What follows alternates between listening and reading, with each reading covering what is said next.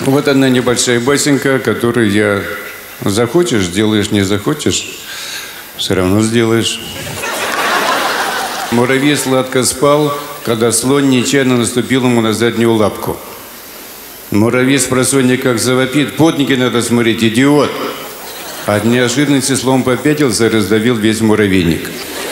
Тут муравей глаза продрал, видит над ним слон, муравейника нет, а труса голову потерял, кричит сам не знает что, куда прешь, глаза ушами завесил. А ну пошел вон отсюда. Слон таких отчаянных муравьев в жизни не видел. Не иначе он карате занимается. Бандитская рожа. Повернулся слон и бежать. Муравей сначала глазам не поверил, а потом от радости ошалел. Да никак у меня испугался, а?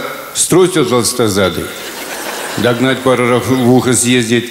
И рванул муравей в погоню. Держи толстого, держи жирного, ух, сейчас бивни повыбиваю. Но испуганный слон быстро бегает, не каждый муравей его догонит.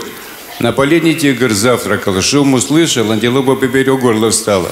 Если у слоны побежали, Тут муравей выскакивает на поляну весь в мыле. Фу, слушай, старый, он слон такой толстый не пробегал?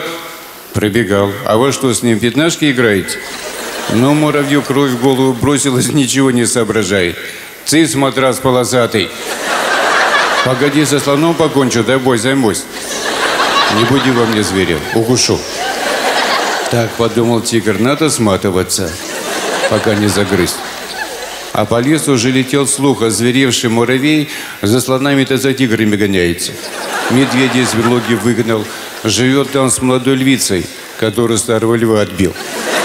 По всяким спорным вопросам извольте явиться к нему, к мудрейшему.